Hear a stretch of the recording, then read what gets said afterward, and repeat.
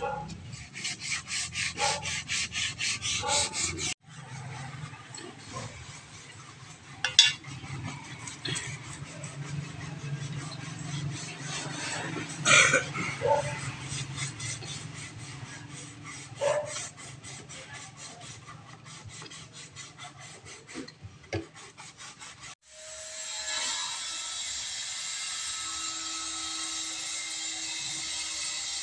na.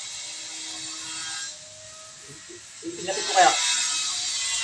Tulad mo yung ano natin, ginagawa.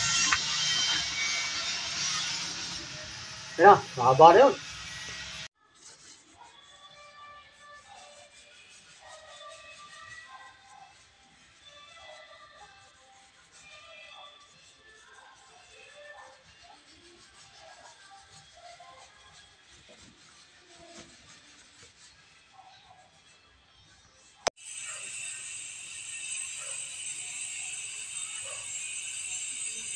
Thank.